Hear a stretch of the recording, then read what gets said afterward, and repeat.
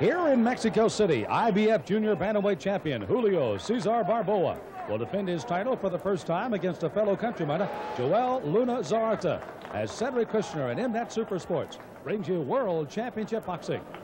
Hi, everybody. Sam Smith, and welcome to El Toreo. This is a converted bull ring here in Mexico City, and the World Championship fight is coming up as our main event later tonight. Right now, Noe Santiago steps into the ring this is a young man that'll challenge the champion for the Mexican Junior Bantamweight Championship. And the champion, undefeated in 28 fights, is ready to make his entry into this arena. Marco Antonio Barrera, a champion that would like to extend his 28-0 record and also add to 22 knockouts. They're saying that these two guys have been on a collision course all throughout their amateur career. And now an opportunity for, first of all, Barrera to defend his title and Santiago to try to capture that title here tonight before, as you can hear, a vocal crowd in Mexico City. Santiago's been waiting for this moment for quite a while. His record at 24-4 and 2 with eight knockouts. Great concentration on that side. And how about the other side for the champion? You bet. Barrera is ready for his chance to defend his Mexican junior bantamweight title. It'll be interesting here at El Toreo to decide which side this crowd is going to start choosing up on. Will it be the champion Barrera, the young man that is wearing the white trunks with a red stripe on the left, as you see there, or the taller challenger in Santiago? You can see the good straight left jab of Santiago already coming out. Again, he does enjoy about a three-inch height advantage. Also a couple-inch reach advantage. Let's see if he's able to use it against Barrera here in Mexico City. Barrera unbeaten in 28 fights, again with 22 knockouts. And he bides his time as Santiago is the man that's taking the fight here early on.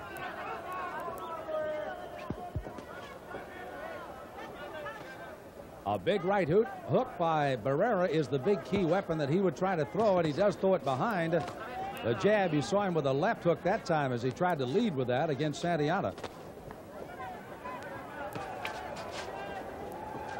Santiago feeding that good left jab. The judges will be impressed with that before the night is over.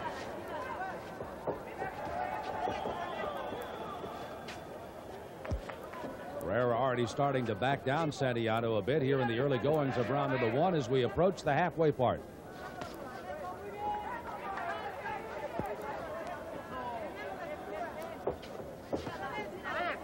Barrera is the national champion, has been traveling throughout the entire country of Mexico. He lives right here in Mexico City, as does Santiago. Making a lot of public appearances, getting himself well known, as he too would like to climb to the heights as a world champion, and with that 28-0 record, could have a very good chance of doing so. You start to see the champion Barrera in the white with the red stripe starting to back up the challenger now.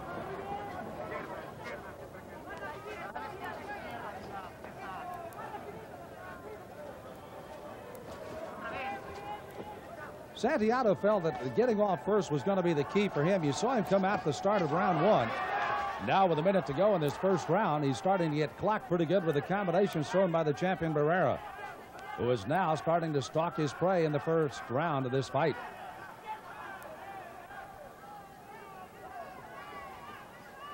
Low crouching style there by Barrera. Santiago, again, the more tall of the two. He's five foot nine and a half. He's the lighter of the two fighters coming to ring time tonight. 113 and a half or 51.4 kilos. 52 and 6 on the other side for Barrera at an even 115 pounds.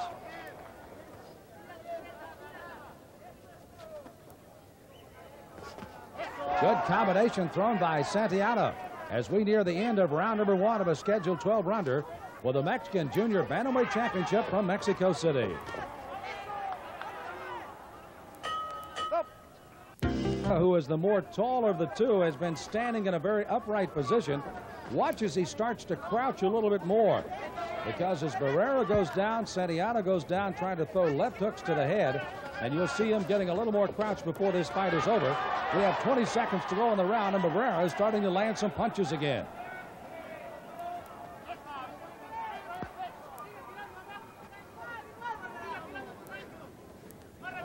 Santiago artificially losing a first round on the cards, came out aggressively, but held up in the latter part of the round, giving Barrera a chance to score And he's done it again here in round number two of their championship fight for the Mexican junior bantamweight title.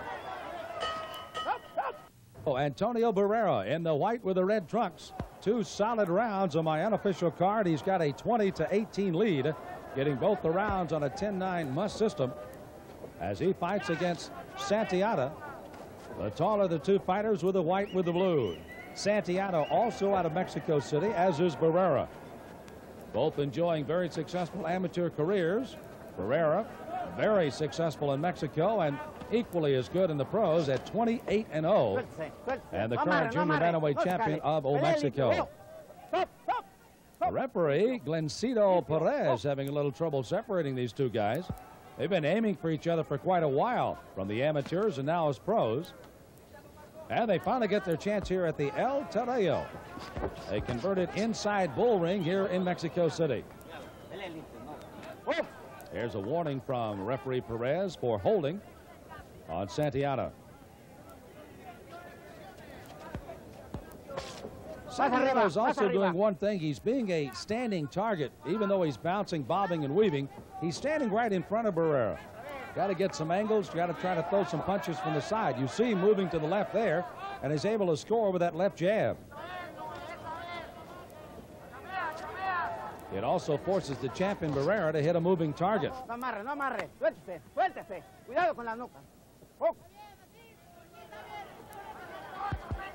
Referee Perez will be an active figure in this ring tonight as we're halfway through this, the third round. Good digging shots by Barrera to the body. One might have strayed just a little bit low.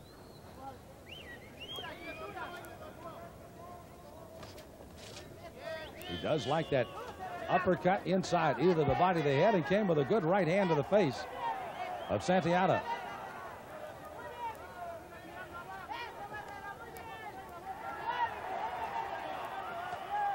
You can hear the crowd starting to get a little bit more into this fight now as Santiago comes with those counter punches off of Barrera's attacking style underneath to the body and then upstairs to the head. This crowd will start picking their favorite soon, and you, without a doubt, will hear them before the night is over, I'm sure.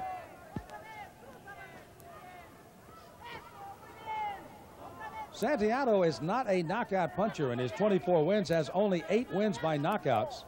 Sharp contrast on the other side. Barrera will knock you down and out. Out of his 28 wins, he has 22 knockouts. So Santiago has to be very, very careful in not running into the right hand of Barrera. So nothing has strategically changed through three. On the right, continues to work hard as we near the end of round three. Four underway of this Mexican Junior Bantamweight Championship. It's a shutout so far in the unofficial card of Barrera against Santiago.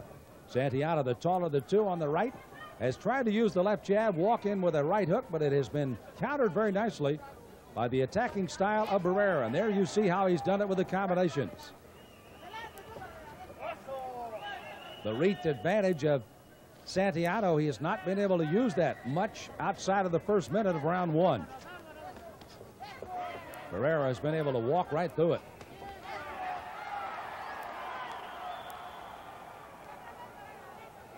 Combination missing by the champion Barrera. There's that uppercut. Again, continues to score. You can see the head of the challenger kind of snapping back. And then Barrera climbs right in on top of him. No amarre, no amarre, no amarre, no. Voy, voy, voy. Voy. No amarre. Oh. Referee warning for a hole inside. Referee Perez is our other voice you'll be hearing on the fight tonight from Mexico City. Warning again, Santiago, who had been warned earlier for holding, and cautions him once again.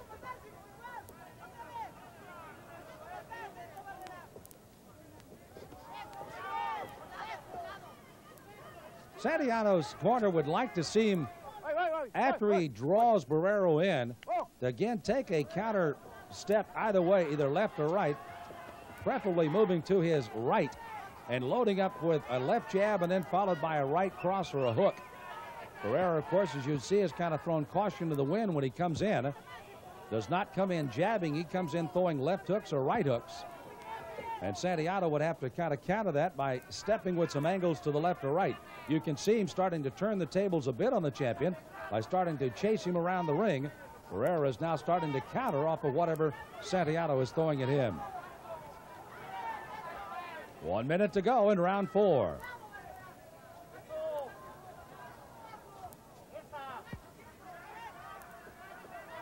No sign of frustration on the face of either fighter. They've pretty much done what they wanted to do in this fight.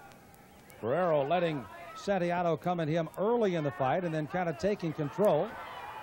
Backing the challenger up on the ropes and unloading a couple of good shots to the body again.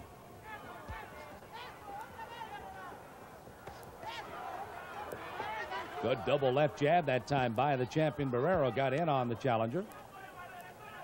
Noe backing up towards the ropes, a place he does not want to station himself here tonight against the champion Barrera, but there he is again. Barrera, however, continues to let him off the hook. He throws three or four, five punches in there and then backs up. And lets Santiago come into the center of the ring as the bell sounds to end round four. Junior Bantamweight champion Sam Smith here at the El Toreo in Mexico City. As the champion Barrera in the white with the red trunks has had solid control since the beginning of this fight. And now Santiago, the challenger, trying to force the issue again in round five. Uppercuts to the body, over the head, right hands have been the main weapons for Barrera so far in this fight. Santiago not able to use that height or reach advantage. There, that time you saw him use a little bit of taking some angles, and you hear how well the crowd warms up when he does something against the champion. If he could get something going here in round five in the middle rounds, he certainly would have the fan support behind him here in Mexico City. Both fighters are from the metropolitan area, and both have their defined uh, crowds here at the El Toreo. Barrera not able to get off as many punches, particularly throwing that uppercut. As Santiago's put a little bit more movement in his fighting style here in round number five.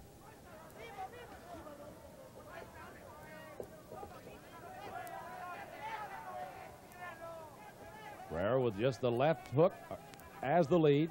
Just the left jab, throwing it out there, seeing what Santiago might do. See if he does go on the angles left or right. And then Barrera would try to counter and attack him that way.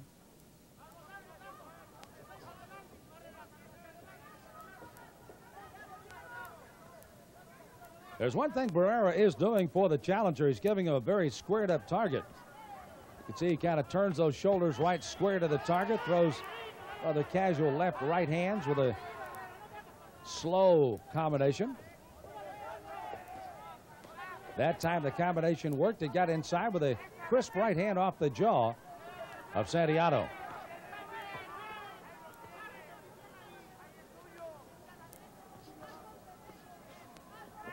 And again, Santiago just not getting off first. He's being fed that combination, even though he is the aggressor in this round and may be close to winning one of his first rounds he has all night long if he can throw some punches. So we've got about a half a minute to go in this round. The judges will like his aggressive style, but they also will be punch counting. And he has not thrown a lot counter to what Barrera has thrown at him in this, the fifth round. Scheduled for 12 for the Mexican Junior Bantamweight Championship. As Cedric Kushner, along in conjunction with MNet Super Sports, brings you World Championship Boxing from Mexico City.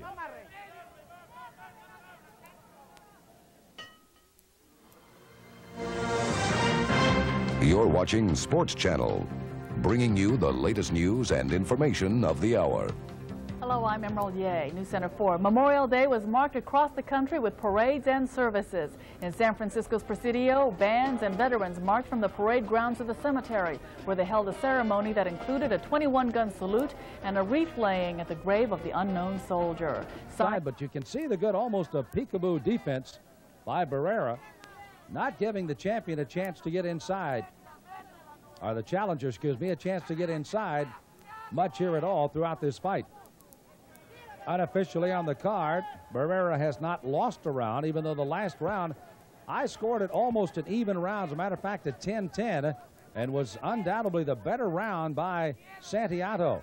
He did not throw enough punches to win the round, but did enough to try to counter the aggressive style of Barrera to at least back him up. And now the tables have turned again. Barrera with a combination. Santiago trying to fight him off on the ropes. So whatever advantage he may have gained in round five, he's losing it here in round six. Santiago gets him back out in the middle of the ring. Actually, Barrera, once he gets him in trouble on the ropes, is letting him off the hook and kind of backing into the center of the ring where he wants to fight, even though he's having great success on the ropes with the challenger. Halfway through the sixth round. And we'll be at the midway point of a scheduled 12 rounder here for the Mexican Junior Bantamweight Championship. Barrera again coming in the heavier the two, 115 to 113 and a half earlier at the weigh-in. No problem with the conditioning on either side, though. That will not be a problem if indeed we do go 12.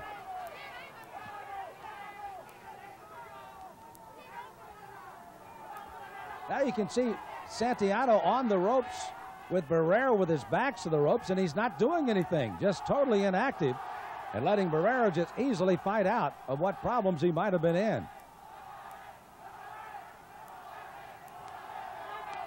And the crowd starting to cheer for their favorites right now. Once one camp comes up, the other one follows suit. There you see some pretty good uppercuts by Santiago. Not a lot of steam on them, but at least they're there. But Barrera starting to coast a little bit himself here in round six. There again, you see, kind of backs him back out in the middle of the ring. Feels he wants to definitely box with him, not brawl. That's not where Barrera wants to be. Even though his style would more benefit an inside game of a brawl than that of the taller Santiago, but Barrera wants no part of it tonight. Junior Bantamweight Championship. Barrera in the white with a red stripe. Santiago, the young man who has come on challenging, fought well in the seventh round, and now he hopes to make things better for him in round number eight. He clearly won the seventh round on our unofficial cards, but still is well behind Barrera, who controlled particularly the first five rounds, then may have got an even round in the sixth, and again the win by Santiago in round number seven has even up this fight a bit, and you can see the challenger seems to be a little bit more aggressive, and the crowd definitely starting to get behind him. Barrera seems to have taken his challenge quite well. As you can see him starting to become a little bit more aggressive. Combination. Backs the challenger towards the ropes. And now the followers of Barrera from Mexico City start to get their conversation well known as far as a vociferous backing of the champion. And reach advantage by Santiago is starting to be used again. You saw him use that little left jab to kind of back up the champion, Barrera.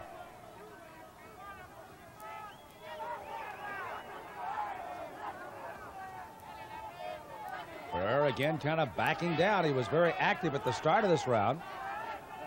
Now he's backed up a bit as far as his aggression are, particularly the throwing of the number of punches. Santiago also has backed down on the punches he threw early on that seventh round. Clearly, a benchmark for him. He would like to accomplish many more of those before this fight's over to get right back in it. A four-point fight unofficially on my card here at ringside. This is where Barrera pretty much tried to stay out of early on. You may recall he would get inside and battle where he is right now. Then he'd quickly back off almost to the point of letting Santiago off the hook. Elected to fight in the middle of the round, but now you can see he's starting to try to get inside to try to send some more body punches to Santiago, who's trying to keep him at bay with that left jab. He also has started to square around and has switched a little bit. He is fighting southpaw right now. And, of course, the switch right and left, so he is able to go either way. And has done so with great regularity. He's back to the right-hand style again for Santiago. A good strategy by the challenger.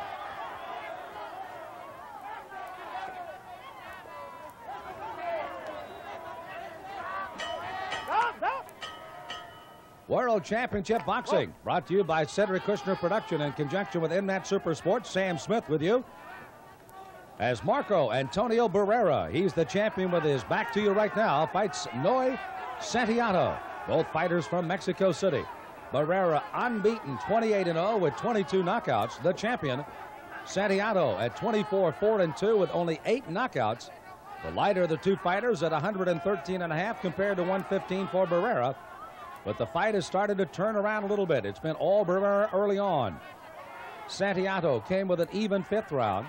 Lost the sixth unofficially, but the seventh and the eighth were very solid rounds, and the crowd is starting to feel that he's back in the fight now. Barrera still stalking, but not throwing as many punches as he did early on. Not a fatigue factor. Santiago's just been able to cover up until Barrera got inside and landed several punches, several of those caught on the elbows. But look at him work. The champion's back in the game again.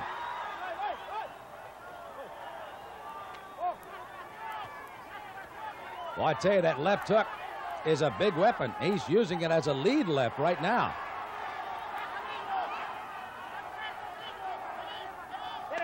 No longer trying to jab his way in. That lead left hook is followed by the right hand.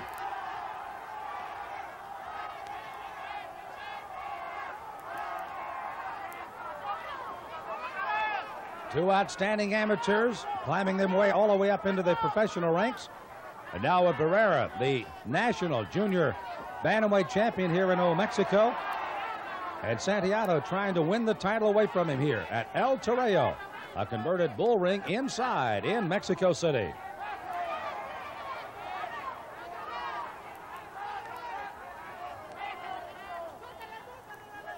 You can see a little extra Vaseline over the left eye of the champion Barrera as he too has a little abrasion that could open up into a cut. Cut on the outside of the right eye. Of the challenger has been pretty much contained so far in this fight. And Barrera has been very active in round nine. About 40 seconds to go to the end of the round.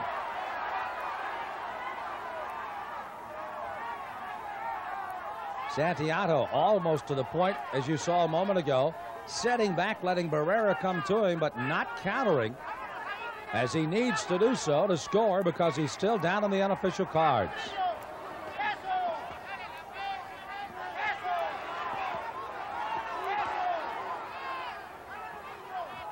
There again, Barrera got what he needed inside, backs up, and there he throws the good combination. Santiago took both of those in the combination, tries to dig some uppercuts to back him up as the bell ends round nine. Research. Barrera, Barrera in the white with the red stripe, trying to defend his title here in Mexico City. He has a lead on the unofficial cards. Santiago has come back to make it a fight, though, and he continues to stalk. Barrera will elect to stand and fight in this round, it appears, as we begin round number 10.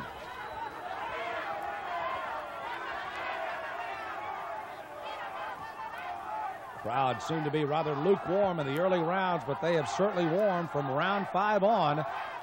Both these fighters from Mexico City, and they have a good following on both sides.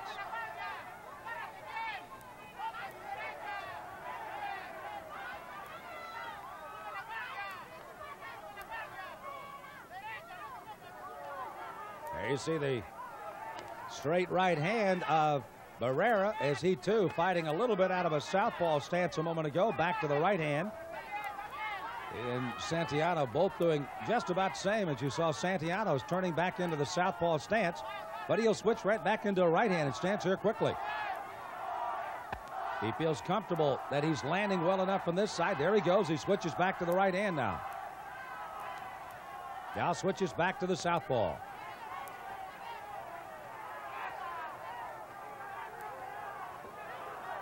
Santiago starting to land more of those punches on that left eye that's starting to puff and swell a little more of the champion Barrera.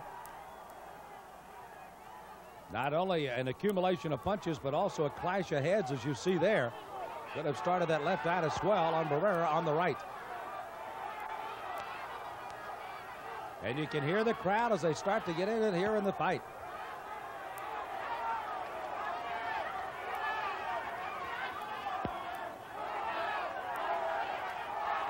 The Barrera now starting to get inside, but not working as hard as he was early on. And the cry for Noe. Noe Santiago. And his followers are certainly hoping he has enough to overtake the champion here, Barrera, for the title. And right now, so far, so good in round 10. Behind, but not out. And Barrera, who anticipated a solid fight tonight, is getting everything and that more in this fight tonight to defend his title. Santiago doing a good job of cutting off the ring on Barrera.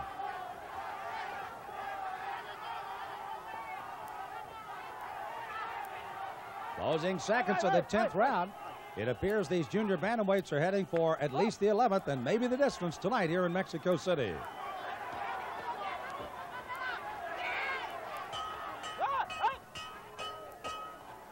Quickly to start the 11th round of the scheduled 12 round Mexican Junior Bantamweight Championship. Barrera is the champion in the white and the red. He is now being challenged by Santiago. Down to a three-point fight on our card, as low as two on some of the other cards we have been looking at around ringside. The left hook thrown by Barrera. A left hand again by the challenger inside. How much stamina, how much steam does either one of these young men have? They both are well conditioned. You can see right at the 115 limit for Barrera, 113 and a half by Santiago. And have prepared themselves to go a, a, full 12 rounds, even though most of Barrera's fights, 22 of his 28 fights, have ended in a knockout. Only eight of the 24 wins by Santiago have ended early.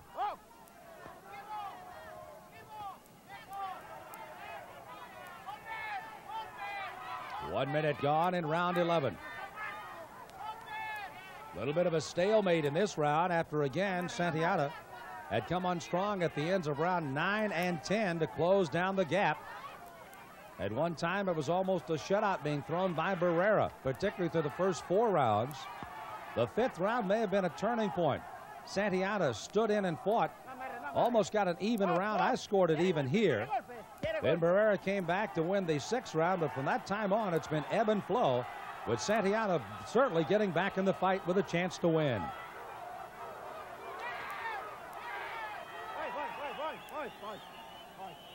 Barrera also has gotten a little bit away from that tight crouch style that he used early on, going a little bit wider with the punches, not so so straight or crisp are the punches he enjoyed.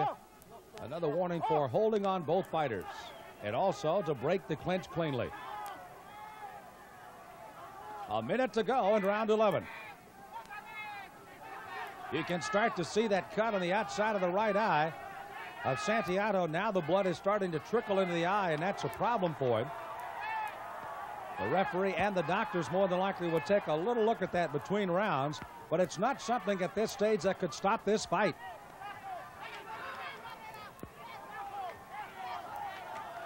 Good exchange by the champion Barrera and the challenger in the center of the ring here in Mexico City.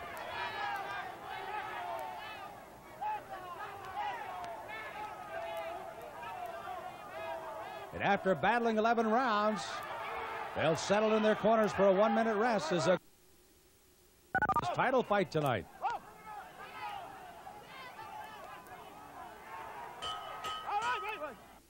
Bantamweight Championship, the touch of the gloves, Barrera and Santiago. That's the last time they'll be friendly of each other for at least three minutes now. As Santiago, the challenger, on the left with the white with the blue stripe, has to do everything he can to try to steal it away. Barrera has fought brilliantly in this fight at times, but let down in the mid-round. Santiago got back into the fight. The crowd got behind him. And now in the 12th round, Barrera has to solidly put it away on our unofficial, the cards goes to the round up by only three points again.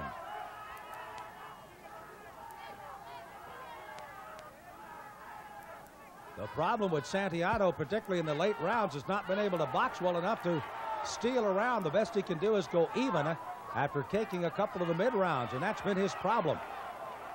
Barrera, you see, countering very well. Also trying to get off a little more frequently as the first puncher. And it's stymieing the style of the champion of the challenger, excuse me, who has to try to come back here in the 12th round. Oh. And again, both fighters warned for holding.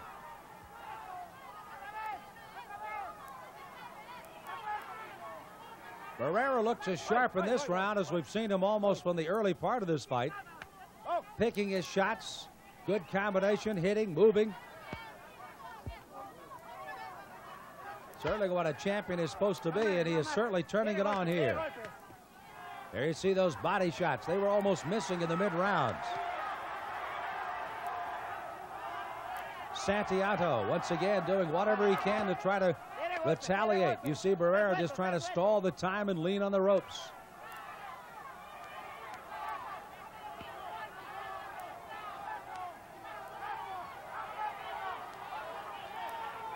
Good straight right hand thrown by the champion.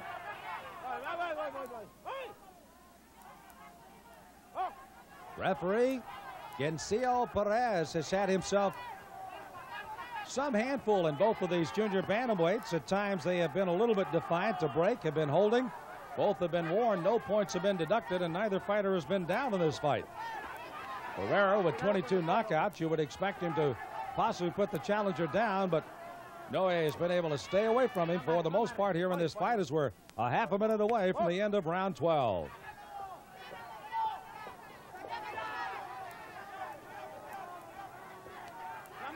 And the champion Barrera continues to feed him left-right combinations as he tries to put a punctuation mark on this, his title offense in Mexico City.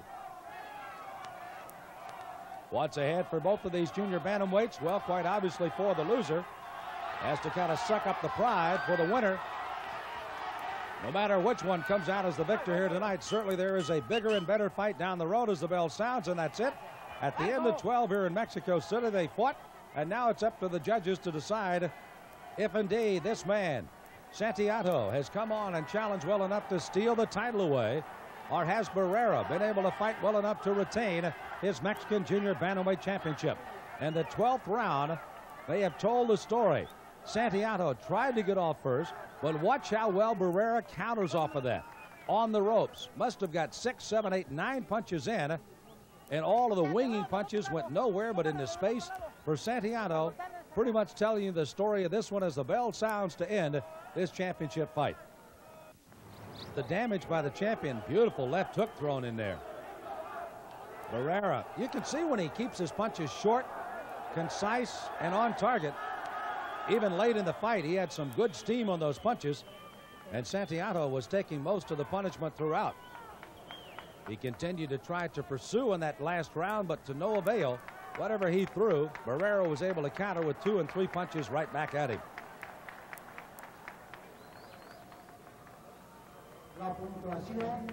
And now the announcement for the officials as they will announce this decision of this fight. As again, both fighters anticipating a victory. Barrera trying to defend his title in this fight tonight. Barrera up on one card. Barrera, Barrera getting up on the second card.